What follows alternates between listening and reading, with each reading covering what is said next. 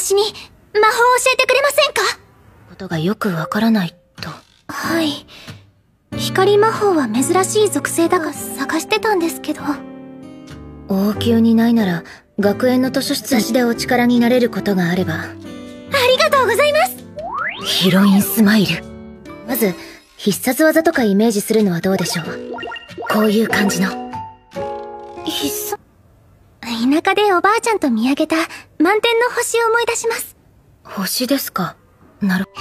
ユミエラさん、ありがとう私、何か分かったような気がしてきました。